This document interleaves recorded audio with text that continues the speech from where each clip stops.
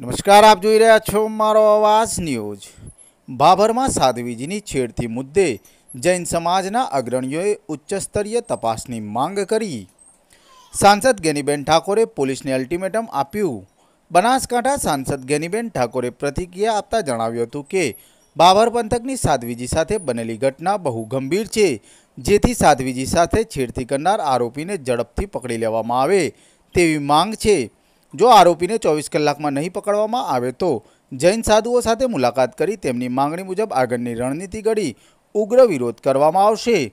જ્યારે આ બાબતે બાબરના જૈન દેરાસર ખાતે પણ મુલાકાત કરી આ ઘટનાને લઈ આગળની શું કાર્યવાહી કરવી તે અંગે ચર્ચા કરવામાં આવી હતી. પોલીસ દ્વારા તાત્કાલિક આરોપીઓને પકડી પાડવા ચક્રો ગતિમાન કરવામાં આવ્યા છે. બાબર જૈન સમાજના ગુરુ સાધ્વીજીના છેડતીના બનાવને લઈને નિર્દોષ યુવાનોને ઢોર માર માર્યો હોવાના આક્ષેપ સાથે બનાસકાંઠા સાંસદ ગેનીબેન ઠાકોર લાલ ગુમ થયા છે. અ, બાબર નવા. ઓગણીસ તારીખે પૂનમના દિવસે એટલે કે તારીખ ઓગણીસ આઠ બે હજાર ચોવીસના રોજ સાધ્વીજી જોડે એક છેડતીના ભાગરૂપે જે ઘટના બની હતી એના તપાસના અંતે અનેક આ વિસ્તારના યુવાનોને પોલીસ સ્ટેશનમાં બોલાવીને એમના પૂછપરછ કરવામાં આવી. પૂછપરછ કરે, એમાં વાંધો ના હોય. એ પૈકીના કેટલાક યુવાનો એમને એકવીસ તારીખે પોલીસ સ્ટેશનની અંદર જે અલગ અલગ અધિકારીઓ, પોલીસ અધિકારીઓ એનસીબી હોય, એસઓજી હોય, એમને પોલીસ સ્ટેશનમાં બોલાવીને પોલીસને જે પ્રક્રિયા કરવાની કે તપાસ કરવાની છૂટ હોય પણ એની સાથે નિર્દોષ લોકોને હેરાન કરવા માટેની કોઈ છૂટ ના હોય.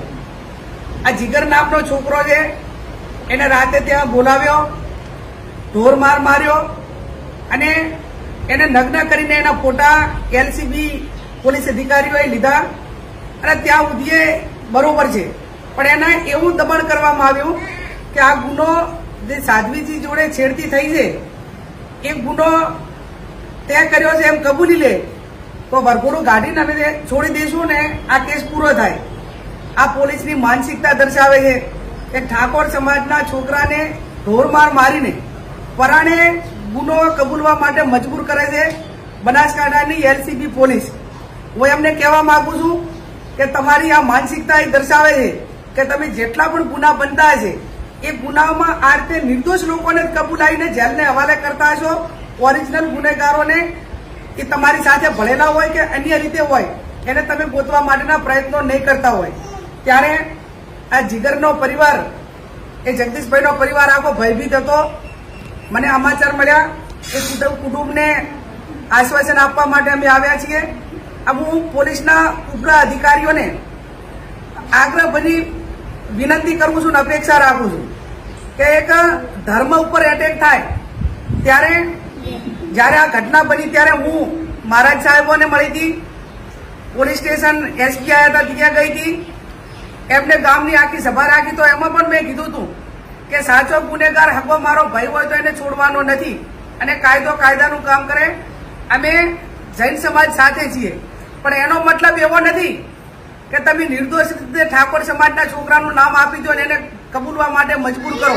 અને પછી મુદ્દા બનાવો ત્યારે આવા અધિકારીઓને જે સાધ્વીજીની સાથે જે ઘટના બની, એના ગુનેગારોને પકડવાને બદલે ઓરિજિનલ ગુનેગારોને પકડવાને બદલે આવા નિર્દોષ લોકોને ખોટી રીતે હેરાન કરી રહ્યા છે અને એમને આજીવન અને એક આખા સમાજને બદનામ કરવા માટેનું કામ કરી રહ્યા છે. તો એ જે અધિકારીએ કીધું છે, આ દીકરાને દબાણપૂર્વક એમની પાછળ કાર્યવાહી થવી જોઈએ ને એને સસ્પેન્ડ કરવો જોઈએ, જેથી કરીને નિર્દોષ લોકો જેલના હવાલે ના થાય.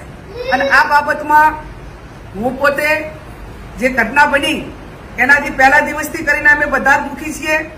આ બાબરની બદનામી છે અને એક ધર્મ ઉપર જ્યારે આવું એટેક થતું હોય, ત્યારે હરકીસ એક મહિલા તરીકે, એક એના આગેવાન તરીકે એ ગુનેગારને ક્યારે છાવરવાનું અમારા મગજમાં કે ક્યારે અમારા વિચારધારામાં કે અમારી કોઈ દાડો એ ટાઈપની માનસિકતા પણ ના હોય.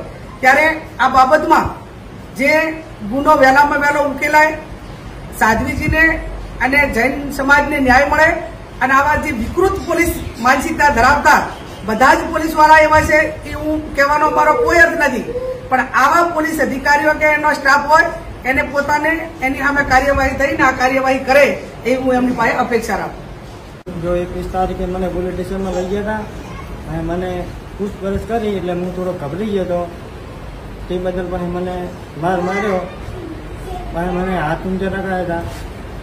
ગુનો કબૂલ કરવા માટે કર્યું કે ગુનો કબૂલ કરી લે. પહેલાં કીધું હતું પણ મેં ના પાડે.